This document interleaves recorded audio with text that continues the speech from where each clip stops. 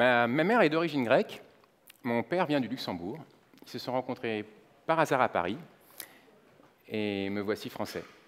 Français au moment même où l'homme a la bonne idée de marcher sur la Lune, mais la moins bonne idée de se l'approprier symboliquement en y plantant le drapeau euh, d'un pays. À 15 ans, on me montre un ordinateur, cadeau cadeau d'anniversaire de mes parents. Et là, rien, ou presque. Je l'ouvre, je bidouille, je fais quelques programmes euh, en basique, mais j'étais un garçon paresseux et pas très curieux. À 20 ans, on me montre et m'explique cette formule magique, la perfection mathématique, l'identité de l'air. Et là, rien, ou presque. J'apprends quelques notions, je fais quelques démonstrations, mais j'étais un étudiant paresseux et pas très curieux. Je deviens professeur de mathématiques, ce qui m'amènera en Afrique, à Paris, en banlieue parisienne, ce qui n'est pas le même métier d'ailleurs, et en Italie, pendant une dizaine d'années, au lycée français de Rome, ce qui est tout autre chose. À 25 ans, on me montre Internet. Et là, ah, il se passe quand même quelque chose.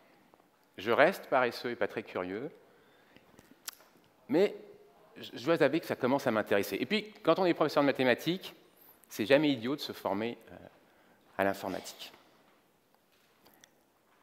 À 30 ans, je lis sur le web un article intitulé Comment informatiser intelligemment les écoles.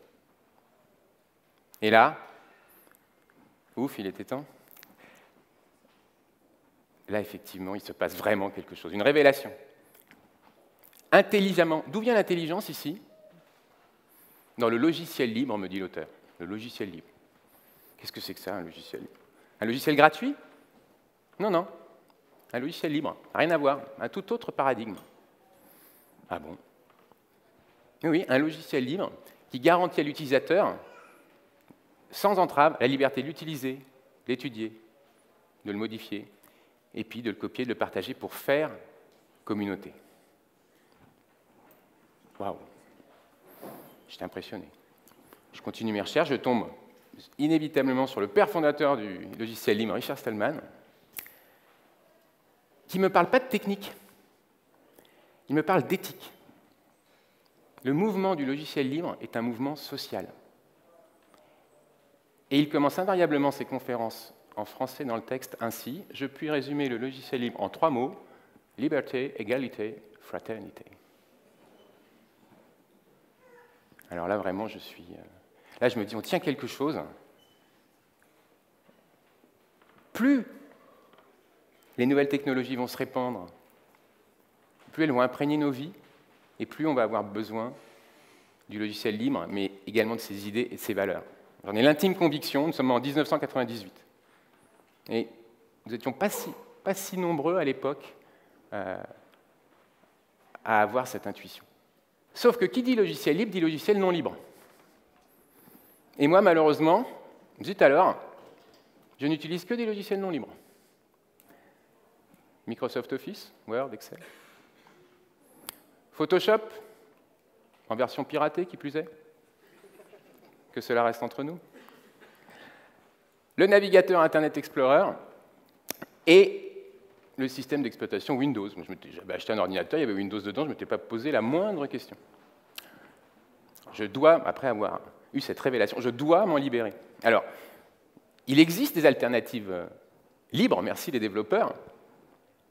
OpenOffice pour la bureautique, de GIMP pour le graphisme, navigateur Firefox et évidemment le système d'exploitation libre euh, GNU Linux. Mais à l'époque, très peu de documentation, très très peu, encore moins en, français, euh, peu de clarté, pas beaucoup de pédagogie. Euh, on, ne m'accompagne pas au changement. On ne me tient pas par la main, on ne vient pas me tirer par la main, moi, petit utilisateur Windows, pour, m'aider à substituer mes, logiciels non libres avec des, logiciels libres. Alors, euh, ben, je prends des notes. Dès que je repère un logiciel libre intéressant, je le garde dans un coin de, ma mémoire. Et puis, je me dis que je vais raconter, dans un coin du site de mon établissement scolaire de l'époque, qui était en banlieue parisienne, je vais raconter la chronique de ma migration progressive et, je l'espère, euh, réussie. Voilà, euh, Framasoft est né comme ça. Et je dois dire que j'ai été très surpris parce que ce que j'ai raconté là, dans un petit bout d'un site, dans un petit bout d'Internet, j'ai envie de dire, ben, ça a rencontré un certain public. D'abord mes collègues, les, les, collègues de mon établissement, et puis d'autres collègues enseignants, et puis des personnes de tous bords, parce que nous sommes sur, Internet. Échange, collaboration, contribution. Je m'aperçois que d'autres sont dans la même situation que moi, se reconnaissent euh, dans, ma, dans, ma, démarche et, viennent me dire, vous, m'avez aidé à me libérer à mon tour, à me déconditionner, à me désintoxiquer, disent-ils parfois, l'expression est un peu forte. Est-ce que, moi aussi, puis-je vous prêter main forte? Mais c'est merveilleux, tout ça bénévolement. Mais bien sûr, mais, euh, faites, vous êtes, le, vous êtes le ou la bienvenue. Euh, et ils seront de, plus, en plus, euh, nombreux. Et vous l'avez deviné, euh, ex-personne euh, paresseuse et pas très curieuse, tout a changé. Je me rends compte qu'avec une idée forte, le logiciel libre, c'est vraiment une idée forte, hein, comme il en arrive une, dizaine par siècle, hein, selon moi. Avec une idée forte, avec de la passion, de l'écoute, de la sueur, et Internet, on peut ensemble euh, déplacer des montagnes. Avec de la confiance aussi. Et la confiance, elle vient que aucun pays, aucune multinationale, aucun individu ne peut planter son drapeau sur un logiciel libre.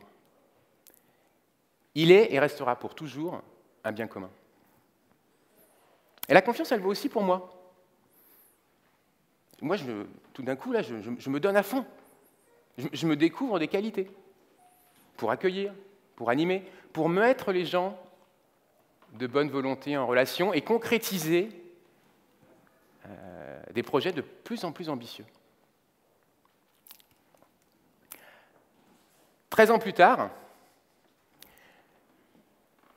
aujourd'hui donc, Framasoft est devenu un, vaste réseau maintenu par une large communauté de plusieurs centaines de bénévoles et soutenu par une association à but non lucratif. Euh, il, y a eu comme une sorte de, de cercle vertueux, contagieux. L'entraide a appelé l'entraide, la contribution la contribution. Et puis on a tous envie de rendre ce que le logiciel libre nous a donné et d'agrandir le cercle des utilisateurs. Parmi les projets, on a une maison d'édition. Bon, à force de faire de la documentation, on s'est dit, euh, pourquoi pas en faire des livres. La particularité, c'est que ces livres sont eux aussi libres. Vous pouvez les acheter dans la librairie, ou sur Internet d'ailleurs, mais vous pouvez aussi les télécharger dans leur intégralité, en version numérique, librement, les lire, les partager, répandre la bonne parole, entre guillemets. C'est là pour ça, et, nous, notre objectif, c'est que ça se diffuse. Autre projet, la communauté a développé euh, une clé bourrée de logiciels libres dedans. Parce qu'on s'est dit, à force de parler de logiciels libres, on s'est dit on va les intégrer, on va les mettre sur des supports, DVD, et puis on les a mis, euh, dans des clés USB.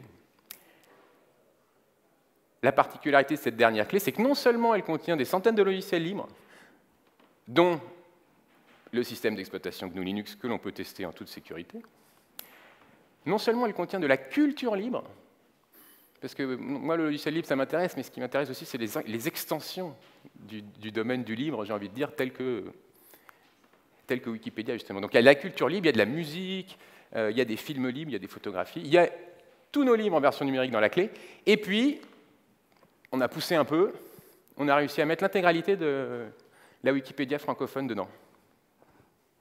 Moi, cet objet me fascine littéralement. La, somme de temps de travail humain qu'il y a là-dedans, des centaines et des centaines de millions d'heures, dont le résultat est mis à la disposition de tous. Si, un jour vous avez modifié ne serait-ce qu'une virgule dans Wikipédia, dans la Wikipédia francophone, vous êtes dans la clé. Autre projet et, dernier exemple, on développe aussi des, des services en ligne libres.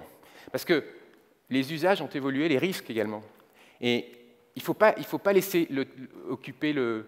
Il ne faut pas que Google et Facebook, etc., occupent tout le terrain du web. Il faut redécentraliser le web en étant respectueux de nos vies privées et, de, nos, données personnelles.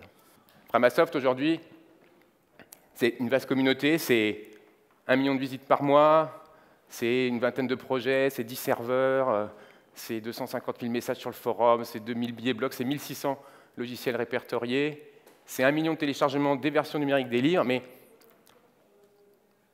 le plus important, le plus important évidemment, il n'est pas là. Le plus important, c'est l'aventure humaine. Et, ça, je dois dire que c'est quelque chose qui me, transporte toujours, euh, euh, toujours autant dans cette, aventure humaine, il y a, évidemment euh, la dimension je veux participer, il y a aussi la, dimension de gratitude. Rares, trop rares, sont les domaines aujourd'hui euh, qui suscitent un tel enthousiasme et soulèvent de telles énergies. L'aventure se poursuit, comme le souligne notre slogan euh, plein d'engagement et d'optimisme. La route est longue, mais la voie est libre. Et au-delà de tous ces chiffres, le plus émouvant pour moi et pour nous, ce sont tous ces témoignages de sympathie. Merci. J'ai découvert le libre grâce à Framasoft et je pense, comme vous, qu'il peut profondément et durablement changer la société.